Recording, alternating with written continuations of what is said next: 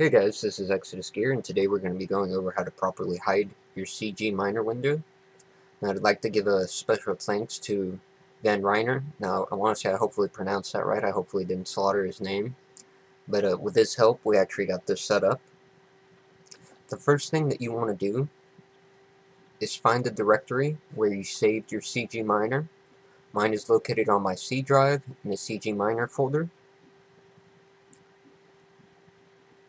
And the first thing that you're going to want to do is right click, create a new text document, and I will name mine no window CG miner.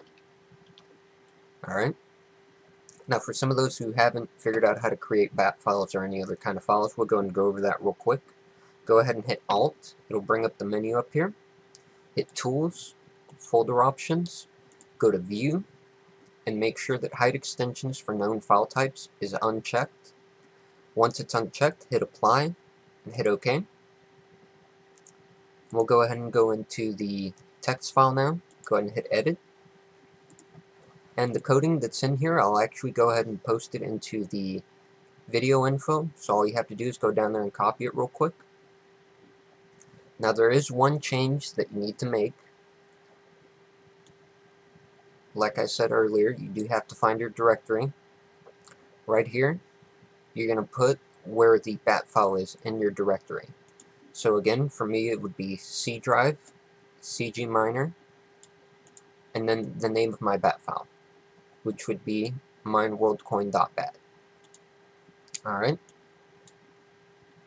Now when you go to save, be sure to hit save as. You're not going to want to save it as a text document you're going to erase the txt at the end, and instead you're going to put VBS. VBS, so Victor, Bravo, and then we'll put in Santa. Why not? It's Christmas. So go ahead and hit save, and it should actually create the file either right above or right below where your text file was. You can now actually get rid of the old text file, so delete that. Now whenever you double click this file, nothing's going to come up. Instead, what you're going to have to do is go into your Windows Task Manager, and right in here you'll actually find CG Miner already running. Now let's go and go back real quick. I want to check and make sure that it's up and going. And for some weird reason, Blocks Factory isn't updating right away. Well, it's somewhat updating. You can see that I have one valid share already. There we go.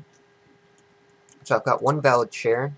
Um, it's just the site itself. Sometimes it takes a little bit to update. But again, if you go back to your Windows Task Manager, CG Miner is running, and it's running at the settings that I put into my uh, advanced command line. So it's actually a very simple process. If you want to shut it down, of course, you have to come in here, hit end process, and that'll shut it down. And that's it. Very simple, guys. I hope this helps somebody out there, and enjoy.